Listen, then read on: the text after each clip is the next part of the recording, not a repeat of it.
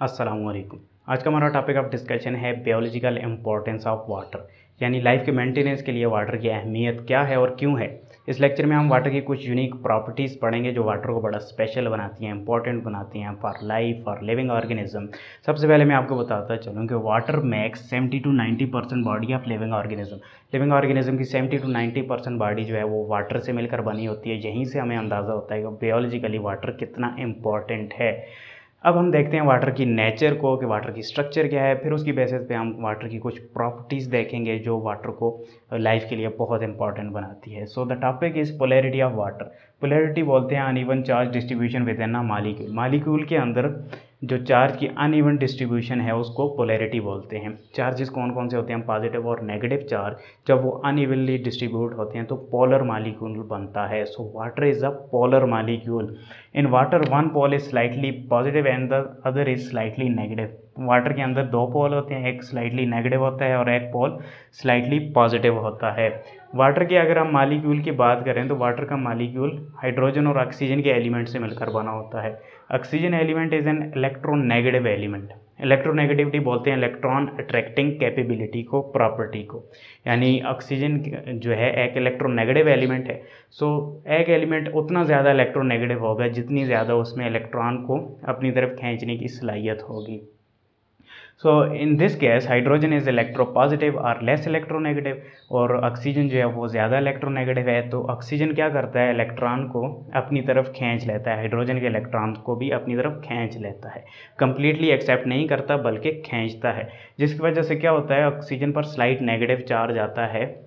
और हाइड्रोजन का केस देखें तो हाइड्रोजन से इलेक्ट्रॉन दूर जा रहा है, जिसकी वजह से हाइड्रोजन पर स्लाइट पॉजिटिव चार्ज आता है। अब इसकी वजह से वाटर में दो पोल बनते हैं नेगेटिव और पॉजिटिव पोल और जिसकी वजह से क्या होता है वाटर के मालिक्यूल के दरमियान फोर्स ऑफ़ अट्रैक्शन क्रिएट होती है, क्योंकि नेगेटिव और पॉजिटिव आपस में अट्रैक्ट होते हैं। यहाँ पर आप देखें, ये ऑक्सीजन स्लाइटली नेगेटिव है, ये हाइड्रोजन स्लाइटली पॉजिटिव है तो इन दोनों के दरमियान फोर्स ऑफ़ अट्रैक्शन क्रिएट हुई, ये डाटेड लाइन से आपको शो हो रही होगी, इसी फोर्स ऑफ़ अट्रैक्शन को हाइड्रोजन बॉन्डिंग कहा जाता है, जो आपने काफ़ी सुना होगा कि वाटर मालिक्यूल में हाइड्रोजन बॉन्डिंग होती है। So here you can see oxygen is slight negative and and hydrogen is slight positive and और इन दोनों के दरमियान फोर्स ऑफ़ अट्रैक्शन क्रिएट हुई इसको हाइड्रोजन बॉन्ड कहा जाता है। और ये एक जो वाटर का मालिक्यूल है, तकरीबन चार दीगर वाटर के मालिक्यूल के साथ हाइड्रोजन बॉन्डिंग बनाता है। अब इस बॉन्डिंग की बेसिस पे वाटर के अंदर कुछ यूनिक प्रॉपर्टीज़ जनरेट होती हैं, उन्हें देखते हैं। First property is solvent property. Solvent बोलते हैं, सॉल्वेंट एक ऐसा सब्सटेंस होता है जो सोल्यूट्स को अपने अंदर डिजॉल्व करता है। So water is a universal solvent ये हम सुनते आए हैं। हम जहाँ पर देखते हैं कि water is an excellent solvent for polar molecule polar molecule के लिए वाटर जो है वो एक एक्सीलेंट सॉल्वेंट है। यहाँ पर हम एक पोलर मालिक्यूल को देखते हैं जो कि एन है, जिसमें अनेक बॉन्ड होता है। जब हम इसे वाटर में डालेंगे डिजॉल्व करने की कोशिश करेंगे तो क्या होगा? जो एन का जो नेगेटिव एंड है, उसकी तरफ़ वाटर मालिक्यूल के पॉजिटिव टर्मिनल वाले मालिक्यूल्स एटम्स आकर अटैच हो जाएँगे। जहाँ पर आप देख पा रहे हैं हाइड्रोजन जो स्लाइटली पॉजिटिव एंड है, ये नेगेटिव के साथ जाकर अटैच होगा और इसे अपनी तरफ़ खींचना शुरू करेगा। इसी तरह जो वाटर मालिक्यूल का जो नेगेटिव एंड है, जो कि ऑक्सीजन है, वो पॉजिटिव एंड के साथ एन के पॉजिटिव एंड के साथ जाकर अटैच होंगे और उसे अपनी तरफ़ खींचेंगे, जिसकी वजह से एन के दरमियान का जो बॉन्ड है, वो ब्रेक हो जाएगा और एन वाटर में डिज़ोल्व हो जाएगा। इस डिज़ोल्यूशन का फ़ायदा क्या होता है कि अब ये जो डिज़ॉल्व सोल्यूट्स हैं ये बहुत ज़्यादा एक्टिव हो चुके हैं केमिकली रिएक्टिव हो चुके हैं क्योंकि ये सोल्यूट्स आप इजीली मूव कर सकते हैं वाटर के अंदर। सो so, यही कंसेप्ट है कि it helps in chemical reaction of the cell बहुत सारे सेल के अंदर जो रिएक्शन हो रहे होते हैं वो एक्वस इन्वायरमेंट में होते हैं। यानी उनमें जो सोल्यूट्स हैं वो इक्वली जो हैं मूव कर रहे होते हैं और बहुत ज़्यादा रिएक्टिव होते हैं। So this is the benefit of solvent property in in body of living organism यहाँ पर एक और मैं आपको बता बात बता दूँ कि वाटर के वाटर का जो मालिक्यूल्स हैं, वो नॉन पोलर मालिक्यूल को अपने अंदर डिज़ोल्व नहीं करते। जैसे कि हमारी बॉडी के सेल्स के अंदर बहुत सारे ऑर्गेनलीज हैं सेल वॉल होगी और बहुत सारी ऐसे ऑर्गेनिज और स्ट्रक्चर जो कि नॉन पोलर हैं, उनको वाटर डिज़ोल्व नहीं करता है जिसका फ़ायदा क्या होता है कि उन स्ट्रक्चर्स की इंटेग्रिटी सेल के अंदर बॉडी के अंदर मेंटेन रहती है। अब हम नेक्स्ट प्रॉपर्टी स्टडी करते हैं high heat capacity heat capacity बोलते हैं energy heat required to raise a temperature of any liquid यानी किसी लिक्विड के टेम्परेचर रेज करने के लिए जितनी एनर्जी चाहिए, जितनी हीट चाहिए, उसको हीट कैपेसिटी कहा जाता है। और वाटर की जो हीट कैपेसिटी है, वो काफ़ी हाई है as compare to other liquids इसका बेनिफिट क्या होता है? इट हेल्प्स इन होम्योस्टेसिस हमारी बॉडी के अंदर बहुत सारे केमिकल्स रिएक्शंस हो रहे होते हैं और एनर्जी जनरेट हो रही होती है। तो वाटर क्या करता है? उस एनर्जी को एक्सेप्ट करता है, लेकिन इतनी जल्दी उस एनर्जी को एक्सेप्ट करने के बाद भी वार्म अप नहीं वार्म नहीं होता, क्योंकि वाटर की जो है हीट ऑफ़ कैपेसिटी काफ़ी हाई है, जिसकी वजह से हमारी बॉडी का जो थर्मो रेगुलेशन है हीट की जो टेम्परेचर है, वो एक नैरो रेंज में रहता है होम्योस्टेसिस रहती है।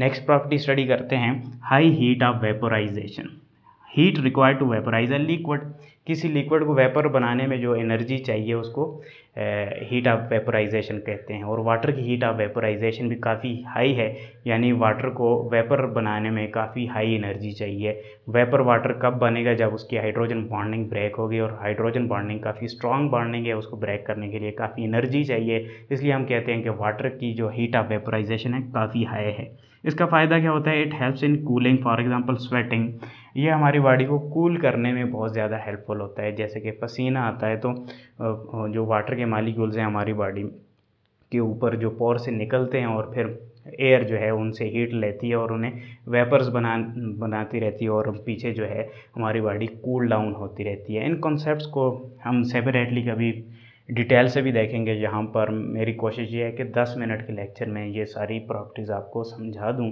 नेक्स्ट प्रॉपर्टी है density and freezing property. Density बोलते हैं मास पर यूनिट एरिया, यानी कोई मालिक्यूल आपस में कितनी कम्पैक्टली अरेंज हैं। So density of water decrease below four degree centigrade due to which ice floats on water. Water की डेंसिटी चार डिग्री सेंटीग्रेड से जब नीचे जाता है टेम्परेचर वाटर का तो इसकी डेंसिटी कम होनी शुरू हो जाती है। यही वजह है कि आइस जो है सॉलिड फॉर्म ऑफ़ वाटर वो समुंदर में तैरती है, ऊपर फ्लोट करती है। इसका रीज़न देखते हैं। जब वाटर के मालिक्यूल लिक्विड फॉर्म में होते हैं तो ये मालिक्यूल के दरमियान की जो हाइड्रोजन बॉन्डिंग है, ये कॉन्स्टेंटली ब्रोकन होती रहती है, टूटती रहती है और नए बॉन्ड्स बनते रहते हैं। जिसकी वजह से ये जो दरमियान में स्पेसेस होती हैं ना, ये फेल होती रहती हैं। यानी जहाँ पर भी वाटर के मालिक्यूल को स्पेस मिली, वहाँ से बॉन्ड टूटा और उस स्पेस को फेल कर दिया। इसकी वजह से जब लिक्विड स्टेट में वाटर होता है तो उसकी डेंसिटी हाई होती है। अब हम बात करते हैं कि जब वाटर चार डिग्री सेंटीग्रेड से नीचे जाता है तो उसकी डेंसिटी लो होना शुरू होती है। क्यों होती है? कि वाटर के जो मालिक्यूल हैं, इनकी मूवमेंट स्लो होना शुरू हो जाती है और जैसे ही आइस बनती है मूवमेंट बंद हो जाती है, क्योंकि सॉलिड्स के दरमियान मालिक्यूल मूव नहीं करते। जिसकी वजह से ये जो एम्प्टी स्पेसेस हैं एज इट इज़ रह जाती हैं और एम्प्टी स्पेसेस होने की वजह से वाटर की डेंसिटी लो हो जाती है और वाटर फ्लोट करना शुरू हो जाता है, यानी आइस फ्लोट करती है वाटर की सरफेस पे। इसका बेनिफिट आपको पता ही होगा। This property protects the aquatic ecosystem यानी समुंदर में जो आइस की जो है वो सरफेस बन जाती है और वो एक इंसुलेटिंग लेयर बन जाती है। नीचे का जो वाटर है वो एज इट इज़ रहता है और एक्वेटिक जो लाइफ है, यानी मछलियाँ होगी, जितनी भी एक्वेटिक ऑर्गेनिज्म है, वो अपनी लाइफ को मेंटेन कर पाते हैं। नेक्स्ट और लास्ट प्रॉपर्टी स्टडी करते हैं high surface tension and cohesion question बोलते हैं is the force whereby individual molecule sticks together एक ऐसी फोर्स होती है क्वेश्चन जिसके ज़रिए इंडिविजुअल मालिक्यूल्स आपस में जोड़े रहते हैं।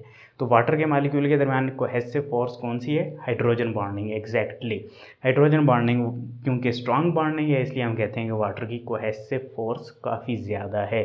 सरफेस टेंशन की बात करें तो at the surface of liquid this cohesive force is called surface tension liquid के सरफेस पे जो कोहेसिव फोर्स है ना, उसको सरफेस टेंशन कहते हैं। Suppose this is a glass तो इसको अगर आप फुल कर दें वाटर से तो इस तरीके से वाटर राइज होगा।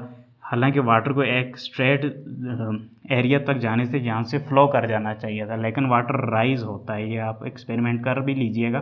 ये किस वजह से होता है कि वाटर की सरफेस टेंशन होती है? यानी सरफेस के मालिक्यूल्स नीचे वाले मालिक्यूल्स इनको आपस में खींचते हैं जिसकी वजह से वाटर नीचे नहीं गिरता। सो so, हम कह सकते हैं कि how difficult it is to break a surface is known as surface tension यानी सरफेस ऑफ़ एनी लिक्विड को तोड़ने के लिए कितनी ज़्यादा आपके पास फोर्स आपको फोर्स चाहिए? सो so, वाटर की सरफेस टेंशन काफ़ी हाई होती है। इसका बेनिफिट क्या होता है कि बहुत सारे ऐसे ऑर्गेनिजम्स हैं जो वाटर की सरफेस के ऊपर फ्लोट करते हैं यानी वाटर की सरफेस काफ़ी स्ट्रांग होती है ब्रेक नहीं होती जिसकी वजह से वो मालिक्यूल्स फ्लोट कर पाते हैं। जैसे कि स्पाइडर आपने काफ़ी ऐसे ऑर्गेनिजम्स देखे होंगे काफ़ी सारे जो वाटर की सरफेस के ऊपर चलते रहते हैं और सिंक नहीं करते, वाटर की सरफेस को ब्रेक भी नहीं करते। कोहेसिव फोर्स क्या करते हैं? It helps in translocation of water and plants plant के अंदर ट्रांसलोकेशन ऑफ़ वाटर होती रहती है रूट से वाटर जो है प्लांट लीव्स तक जाता है तो इस ट्रांसलोकेशन में कोहेसिव फोर्स का बड़ा हिस्सा है, बड़ा हाथ है, क्योंकि कोहेसिव फोर्स वाटर के मालिक्यूल्स को आपस में जोड़े रखती है, इसलिए वाटर का मालिक्यूल कॉन्स्टेंटली मूव कर रहा होता है, यानी ब्रेक पार्ट नहीं होता, जुड़ा हुआ फ्लो करता है so this is the basic concept of cohesion हमारा जो लेक्चर यहीं पर था होपफुली आपको मेरा जो लेक्चर समझ में आया होगा, हमारे चैनल को सब्सक्राइब करना मत भूलें, शुक्रिया, अल्लाह हाफिज़।